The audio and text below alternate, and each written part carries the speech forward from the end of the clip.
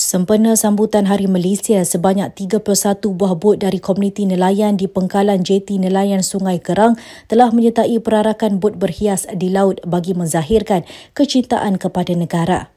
Kesemua bot yang mengambil bahagian dalam acara yang diadakan di bawah anjuran Parlimen Bukit Gantang ini dihiasi dengan pelbagai gaya kreativiti tersendiri.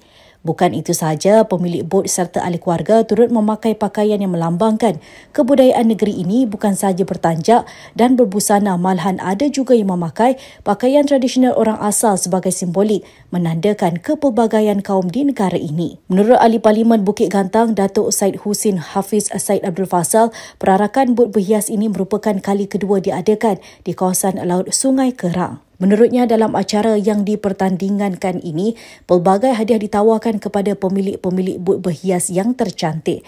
Tambahnya, acara perarakan but berhias ini akan dijadikan acara tahunan di kawasan Parlimen Bukit Gantang bagi mempromosikan kawasan nelayan yang dipenuhi kepelbagaian produk yang dihasilkan termasuk beberapa tempat menarik yang perlu dikunjungi oleh semua pihak.